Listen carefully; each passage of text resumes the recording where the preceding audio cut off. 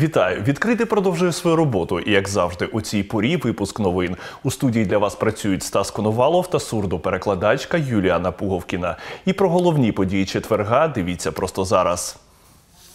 Майже 7 тисяч випадків COVID-19 за добу зафіксували в Україні. Ушпиталили понад 2,5 тисяч пацієнтів. Найбільшу кількість нових хворих зареєстрували у столиці, Харківській, Донецькій, Рівненській і Дніпропетровській областях. Зокрема, в нашому регіоні корону лабораторно підтвердили у 553 людей.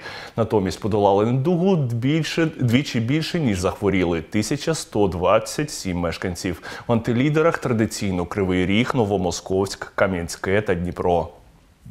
Всього підтверджених випадків по місту 55 тисяч 313. Одужали 48 тисяч 902 пацієнта з ковід. На амбулаторному лікуванні під наглядом сімейних лікарів знаходиться 5 тисяч 757 пацієнтів. На стаціонарному лікуванні 654 пацієнти. Ковідні тренінги в Україні проведуть загальнонаціональне навчання для лікарів первинної медичної допомоги. Організатори МОЗ та ЮНІСЕФ передбачено декілька етапів. На першому, який триватиме три місяці, планують залучити до науки майже 75% фахівців первинної ланки. Акцент зроблять на запобіганні поширенню корони, європейських стандартах лікування хворих з легкою формою, специфіці ведення ковідних пацієнтів із супутніми захворюваннями та первинних консультаціях. На другому етапі організують тренінги, де зосередять увагу на лікування ковід у дітей, вагітних, літніх людей, на застосуванні кисневої терапії при коронавірусній хворобі, реабілітація після хвороби тощо. Кошти на тренінги виділив Світовий банк. Загалом майже 40 мільйонів гривень. Фахівці, окрім проведених тренінгів, розроблятимуть також індивідуальну оцінку отриманих знань для кожного запрошеного, проведуть тестування та обов'язково отримують зворотній зв'язок про практичне значення отриманих навичок.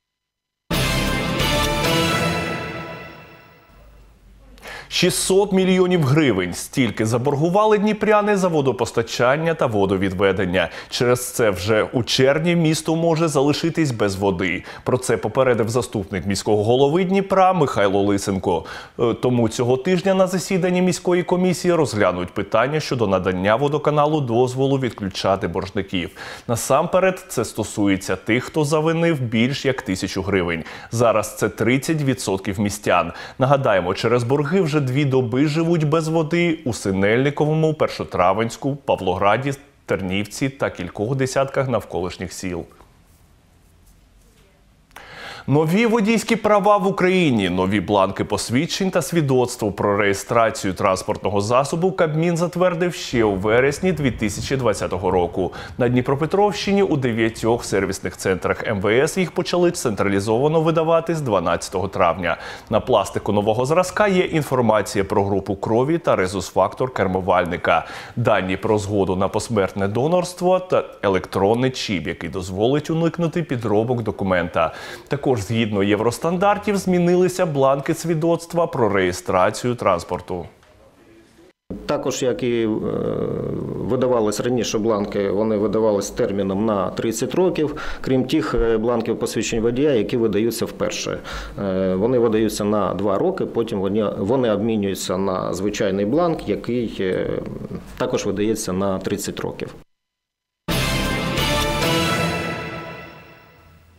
Весело з нагородами та шкільним вальсом останні дзвоники у школах Дніпропетровщини пролунають попри карантинні обмеження. Свято для дітей у навчальних закладах організують з урахуванням протиепідемічних правил. Просто неба без скупчення людей із дотриманням дистанції. В багатьох навчальних закладах вже розпочалася підготовка. У навчально-виховному комплексі номер 148 Планета щастя у Дніпрі побувала наша знімальна група.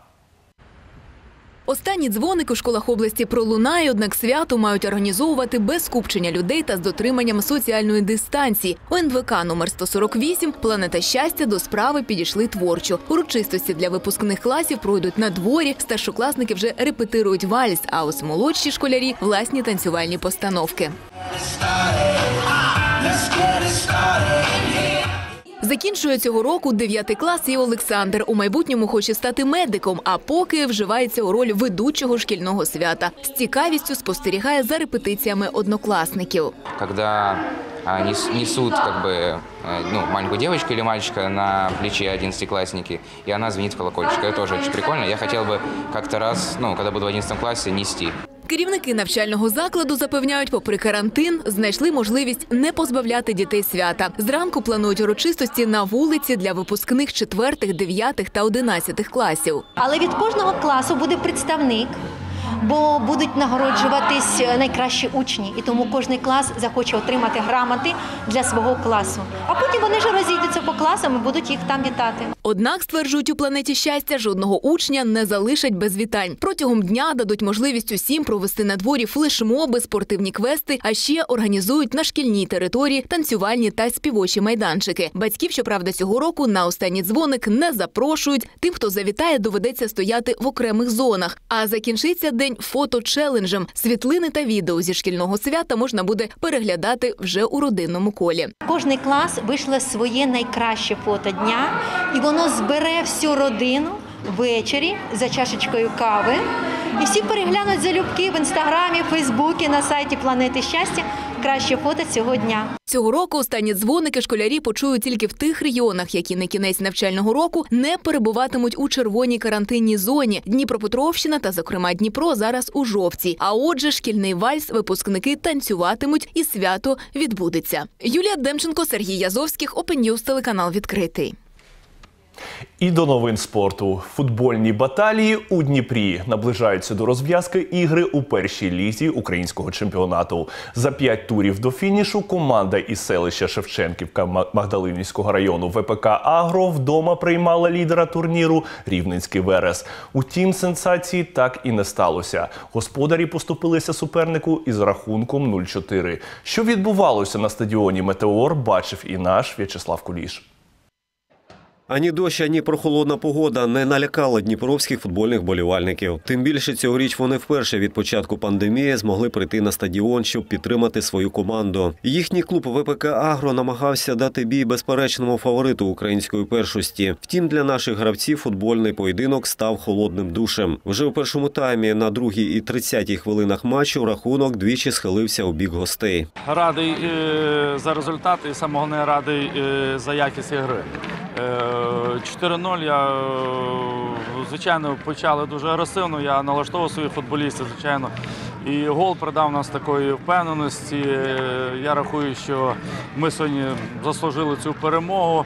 Е, Саме головне, що є хороше відношення. Футболісти розуміють, що робити на футбольному полі, е, тому я задоволений. По перерві футболісти Вереса продовжували створювати гольові моменти поблизу воріт господарів. А ось після цього розіграшу котового м'яч вже втретє опинився у воротах ВПК Агро. Автор голу герой матчу Михайло Шестаков, який оформив хет-трик. Вышли, получилось забить, поэтому сразу где-то вот поймали эту уверенность. И, ну и так все хорошо, удачно начало слаживаться. У нас э, задача всегда выйти и начинать агрессивно, с первых минут агрессия. И если получится, конечно же, забить. С- в- Ну, в этой игре хорошо, что получилось. Невдовзі гості провели і четвертий гол. Прицільний постріл у нижній кут воріт магдалинівців завдав Геннадій Пасіч. Господарі мали кілька шансів, щоб забити гол престижу, але то м'яч летів вище воріт, то як в цьому епізоді надійно грав голкіпер Вересу. Тож не щастить, так не щастить, підсумував гру головний тренер ВПК Агро Сергій Соловйов. Хочу извиниться перед болельщиками. Сегодня первая игра с болельщиками. Мы так безобразно сыграли. Но сегодня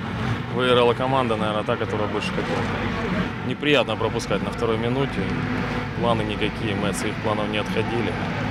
Как получилось, так получилось. Після цієї поразки ВПК Агро залишається на 11-й сходинці у турнірній таблиці першої ліги чемпіонату України. Свій наступний поєдинок магдалинівці зіграють 16 травня у Тернополі з місцевою нивою. В'ячеслав Куліш, Василь Самовар, Open News, телеканал відкритий. І це всі новини на цю годину. Більше читайте на нашому сайті opentv.media. Не забувайте і про сюжети в соціальних мережах та на нашому ютуб каналі. Залишайтесь відкритим, бережіть себе та хай щастить!